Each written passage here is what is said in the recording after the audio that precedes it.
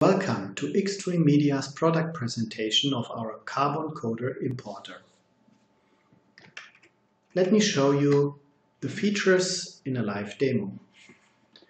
I've opened Carbon Coder in one of the latest releases, but that does not matter. Our importer plugin works with all Carbon Coders from generation 3. I've prepared three different sample files problematic sample files. There's a ProRes file, there's an MKV file, and there's an MP4 file.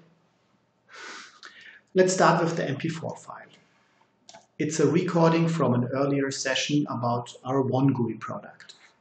As you can see, with drag and drop, Carbon Coder loads the source file with no problem. We can play it we can do frame accurate in and out point settings. And obviously we can transcode the file. Now why is that special? Let's have a look for a carbon coder without our plugin installed. Here I've opened a remote desktop to one of our demo farms. It's again a carbon coder, same generation, but without the plugin. And I will take the same sample file. It's our OneGUI demo file. Again, the MP4 file, it loads, but as you can see, it does not use our importer. How can we see this? Let's switch back here in the metadata settings at the very, very top, it says importer is X-Dream Media Universal Importer Module. At our installation in the demo lab without the importer, we do not see that, so the original importer is used. And here that's the problem. Then standard importer cannot seek within the file and for that reason we cannot position, we cannot play, we cannot define any in and out points. Let's make another example. Let's take Big Buck Bunny file, a sample file, an MKV file. Our X-Dream Media Universal Importer loads it with no problem.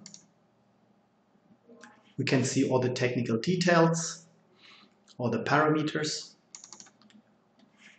We can even play it. With no problem, we can scrub through it. Again, we can set in and out points, can build lists from those. All the standard features from Carbon are available. Back again to our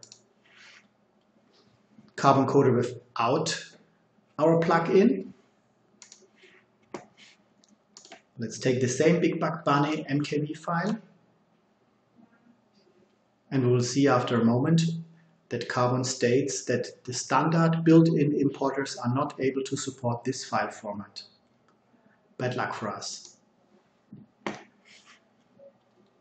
Last but not least, let's take an ProRes file. Again, our importer loads it with no problem we get access to all the technical details and we can play it.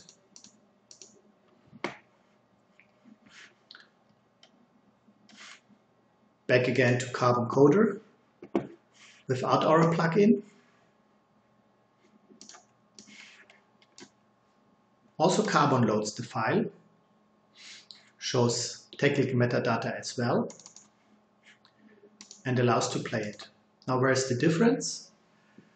With our module, you do not have limitations that Carbon will face, so difficulties about correct color space handlings and obviously as well speed. One of the big advantages of our importer, it's better multi-threaded and for that reason it leads into way faster transcodes with Carbon Coder.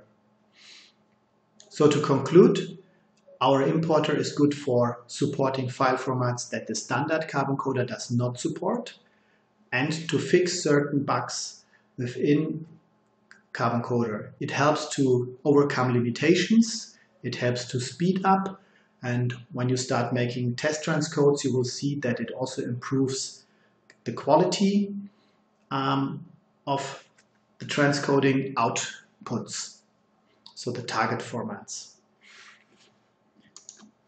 Thank you so much for attending this short session on our Carbon Coder plugin. We would love to see you soon again on our website www.x-dream-media.com. Thank you so much.